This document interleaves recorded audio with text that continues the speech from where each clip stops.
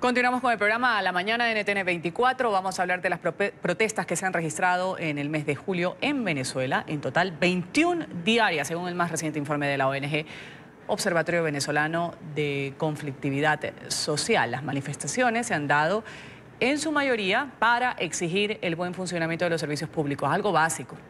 El reporte enseguida desde Caracas con nuestro periodista Oliver Fernández. Oliver, un buen viernes para ti. Un buen viernes para ti también, Ruth. Como siempre, un gusto saludarte desde la capital venezolana.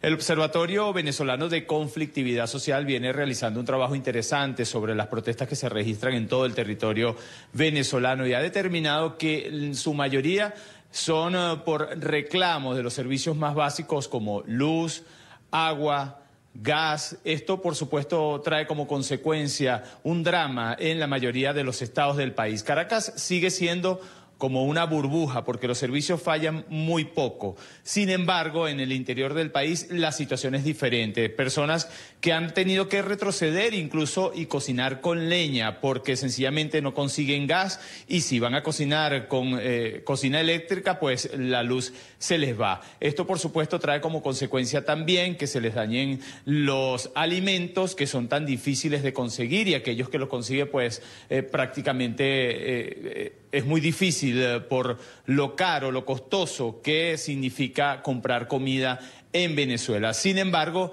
ha determinado que son 21 protestas diarias en casi todo el país, sobre todo en el estado Zulia, que ha sido uno de los estados más golpeados por la crisis económica, política y social que se vive en Venezuela. También ha determinado que las personas protestan tratando de que se cumpla eh, un cambio político en Venezuela o por lo menos tratar de llegar a unas elecciones libres, como así lo ha dicho el presidente encargado de Venezuela, Juan Guaidó. Pero vamos a ver el siguiente informe realizado por nuestra compañera Nicole Colster. En Venezuela el agua potable es un lujo, la electricidad un privilegio y el gas doméstico una suerte. Sí, es un lujo, vamos a que es un lujo. El gas ahorita conseguirlo es un lujo. El agua, tener el agua es un lujo. La comida, imagínate. 55% de las protestas del último mes en Venezuela fueron para exigir derechos económicos, sociales o ambientales. Esto basado en el último informe difundido por el Observatorio Venezolano de Conflictividad Social. Vanessa Molina tiene, por ejemplo, dos meses sin gas doméstico. ¿Cuándo, por ejemplo, no tienen gas? Bueno, yo tengo gas hace 12, dos meses. ¿Dos meses, sin, gas? sin gas? Y tengo dos niños pequeños. ¿Cómo hace? Bueno, Imagínate, buscar ayuda, no sé, cocina eléctrica. Usar cocina eléctrica tampoco es una garantía. La luz también falla. Pero ahorita ni una cocinita eléctrica porque tampoco es fiable, ¿verdad? No tenemos a veces electricidad. Ese es otro problema más en Venezuela, la electricidad. También nos falla mucho. siempre constante hay apagones para acá. Luz, por ejemplo. Ay, la luz también cada ratico se va, cada ratico viene. Eso es horrible también. Este jueves estas mujeres madrugaron para perseguir algún camión que suministrara gas, pero ni ellas ni este otro señor de 76 años, Jesús García, lo consiguieron. Esto ha sido elocuente, que ellos venimos mañana y no vienen.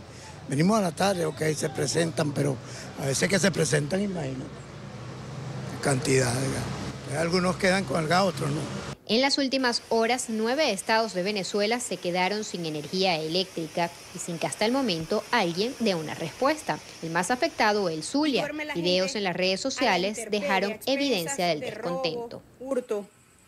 ¿Hasta cuándo con este calvario? No es posible. A mí se me murió una hija hace cuatro meses por lo que estamos pasando, por el problema de la luz. La luz se nos va a las 7 de la mañana, viene a las 3 y 46 de la tarde. Se va a las 7 de la noche, regresa a las 3 de la mañana. Yo quisiera que nos den una respuesta. ¿Qué va a hacer con nosotros? O terminamos de matar o nos va a solucionar.